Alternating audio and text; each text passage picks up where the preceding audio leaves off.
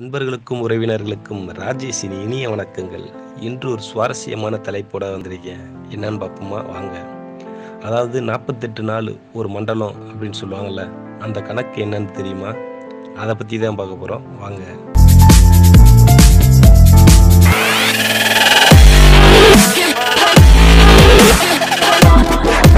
இது வந்து ஒரு அறிவியல் சம்பந்தமான விஷயம். மதம் சம்பந்தமான விஷயம் இல்லை அப்படின்றத முதல் மனசில் வச்சுக்கோங்க. ஓகேங்களா நண்பர்களே?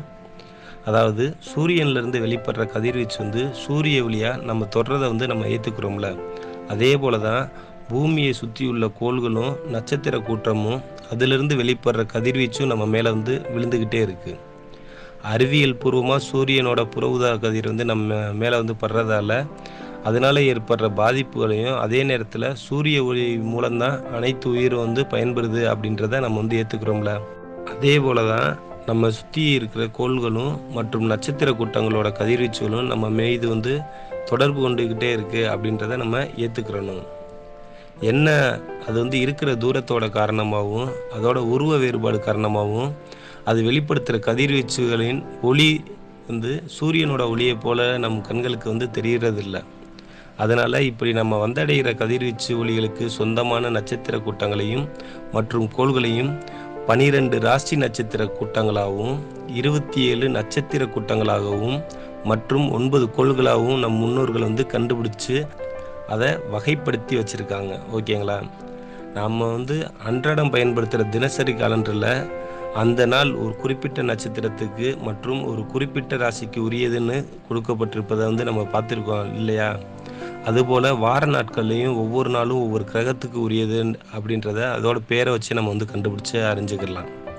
ஒரு வருடத்தில் எந்த ஒரு நாள் எடுத்துக்கிட்டாலும் சரி அன்னையிலேருந்து தொடங்கி சரியாக நாற்பத்தெட்டு நாளுக்குள்ள ஒம்பது கிரகங்கள் பனிரெண்டு ராசி கூட்டம் இருபத்தி ஏழு நட்சத்திர கூட்டம். இவைகளோட கதிர்வீச்சு வந்து ஆதிக்கம் பெற்ற அத்தனை நாட்களும் கணக்கில் வந்து வந்துடுங்க எப்படி அப்படின்றீங்களா? இந்த இப்படி தாங்க கிரகங்கள் வந்து ஒன்பது ராசி கூட்டங்கள் வந்து பனிரெண்டு நட்சத்திர கூட்டம் வந்து இருபத்தி ஏழு. இந்த மூணையும் கூட்டி பாருங்க.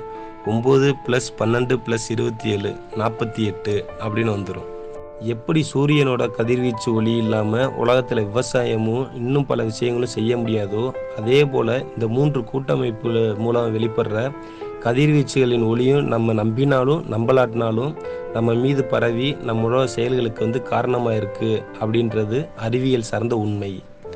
இதனால தான் தொடர்ந்து நாற்பத்தெட்டு நாள் அதாவது ஒரு மண்டலம் செய்கிற எந்த ஒரு செயலும் மேலும் மேலும் தொடர்ந்து வெற்றிகரமாக நடக்குது அப்படின்றாங்க.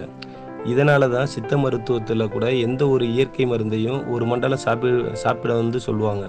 அப்படி செஞ்சாங்கன்னா அந்த நோய் வந்து நிரந்தரம் வந்து குணமாயிரும் அப்படின்வாங்க அதே போல் எந்த ஒரு மதத்தை சேர்ந்தவராக இருந்தாலும் தொடர்ந்து நாற்பத்தெட்டு நாள் செய்கிற வேண்டுதல்கள் அதாவது மற்றவர்களுக்கு தீங்கு இல்லாமல் இருக்கிற மாதிரி வேண்டுதல்கள் எல்லாமே கைகூடும் அப்படின்னு சொல்கிறாங்க நம்மோட முன்னோர்களான சித்தர்களும் முனிவர்களும் வெற்று சாமியர்கள் இல்லைங்க.